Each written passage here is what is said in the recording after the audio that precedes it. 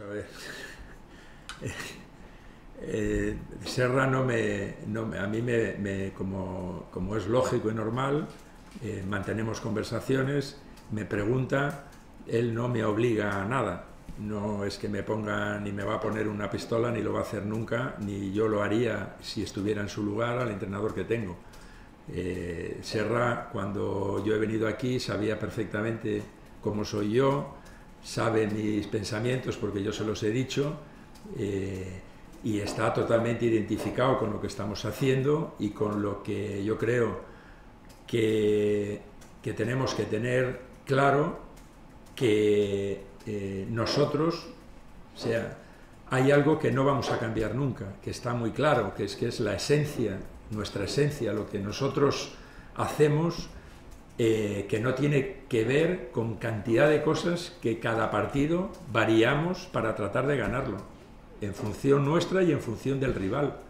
O sea, nosotros estamos permanentemente cambiando las cosas, pero la esencia es la que no va a cambiar nunca. Nosotros no somos por naturaleza más atrevidos que conservadores, y esta es la esencia.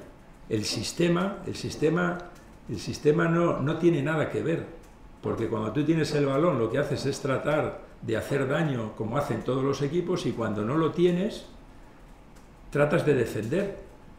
Y para eso, o sea, nosotros cuando tenemos el balón hemos variado cantidad de veces nuestros, nuestros planteamientos, los hemos cambiado. Hay días que salimos con dos jugadores desde atrás, con los dos centrales, otro día incorporamos a Javi, otro día proyectamos a nuestros laterales más altos, más bajos, en función de cómo nos aprieta el rival, o sea, son cosas que permanentemente estamos trabajando. No es que salgamos al campo a hacer siempre lo mismo, en absoluto. Cada rival que tenemos, unos nos aprietan con más intensidad arriba y tratamos de variar. Tenemos alternativas suficientes para jugar en largo, para jugar a un lado, para jugar por dentro. O sea, estamos permanentemente cambiando las cosas en función del rival. Lo que no vamos a cambiar es nuestra esencia, nuestra filosofía.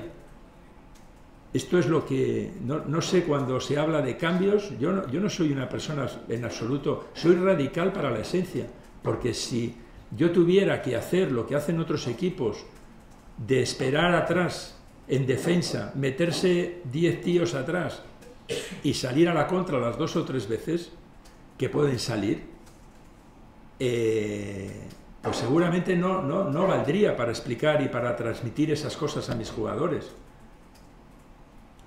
¿Yo qué hago? Pues trato de apretar arriba, cuando tengo que apretar, trato de esperar un poco más en, una zona intermedia, en una zona de repliegue donde me permita eh, estar más cerca de la portería, trato de juntar a mi equipo, de que sea sólido, de que sea consistente. O sea, vosotros analizar de verdad, con un poco de, de criterio sobre las cosas que estoy diciendo, analizar los partidos y veréis que Richa y Rafa o Antonio, pues hay veces que juegan más adelante, otras veces juegan más atrás, algunas veces Javi se pone por detrás, algunas veces mandamos a nuestros interiores más altos, más bajos, o sea, estamos permanentemente cambiando las cosas y tratando de hacer daño al rival de la manera que queremos hacerle. Y cuando no tenemos el balón, que nadie piense que es que nos desentendemos de la faceta defensiva en absoluto. Todo el mundo tiene que tener compromiso. Claro que es cierto que hay muchas cosas que tenemos que, mejorar. El otro día hemos perdido 25 balones en las, en las segundas jugadas. Eso no tiene nada que ver con la forma de jugar. En absoluto. Eso tiene que ver con, con la atención, con la inteligencia del futbolista en un momento determinado para intuir dónde va a caer el balón después de que un compañero tuyo con un rival disputa el balón. Ese tipo de acciones son 20 que se lo he dicho a los jugadores, ese tipo de acciones son 20 acciones en las que tú puedes recuperar el balón e iniciar una posesión y un ataque. Y si los pierdes son 20 oportunidades que le das al rival para recoger el balón. Entonces hay que estar absolutamente concentrado en esas disputas. Ahora, tenemos que tener claro los futbolistas que tenemos. También. Pero esto es mucho más amplio que cambiar, cambiar cosas, cambiar cosas por cambiar. Si a veces los cambios que se producen como yo leo algunas cosas y piden cambio de entrenador, es verdad. Y realmente llevamos este club, por, decir, por poner un ejemplo, porque esto pasa en todos los lados, llevas, ¿cuántos cambios de entrenador se han producido en los últimos 10 años? Que la gente se queja, ¿cuántos? Si el, el, camino no está en cambiar de entrenador o de jugadores, está en tratar de hacer las cosas bien, estabilizar muchas cosas, poner orden y tener cierta confianza. Porque evidentemente nosotros no podemos ganar solo porque seamos el Betis, ya lo he dicho aquí muchas veces, tenemos que ganar a través de hacer bien las cosas y de mejorar al rival. El otro día el Girona, el Girona, cada partido se le quedan tres veces delante del portero solo. Cada partido. ¿Pero cambian? No, no cambian.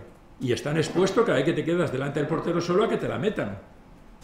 ¿Y cambian su manera de jugar? No. ¿Por qué? Porque, porque les va bien de esa manera.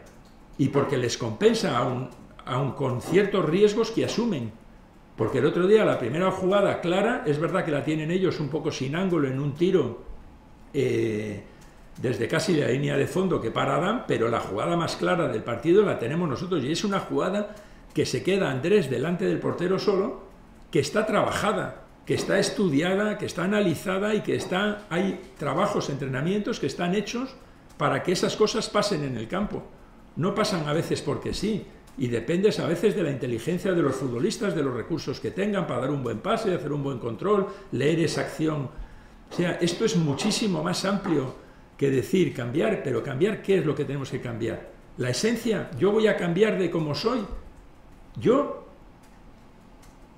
si yo no puedo cambiar, si yo soy como soy, igual que todo el mundo es como es, puedo eh, cambiar detalles, transformar cosas, pero la esencia que uno tiene, de la que vive desde, que, desde la que se ha alimentado durante 40 años,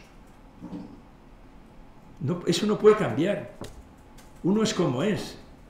A Simeone vosotros creéis que le podéis cambiar a, a, cantidad, a, Machín, que el otro día estuve hablando con él, a, todos los entrenadores y todos, a Mourinho, puedo decir, a Guardiola, ¿podéis cambiarles? ¿Y qué? ¿La solución cuál es? ¿Cambiar al entrenador porque no nos gusta el modelo de juego que tiene? Pero si tampoco gustaban los otros, o esa esencia, si esa esencia tampoco valía para mucha gente, la anterior, la del último, último, los últimos entrenadores que han vivido aquí. Si yo llevo 40 años tratando de encontrar eh, eh, o de tratar, tratando de controlarlo todo.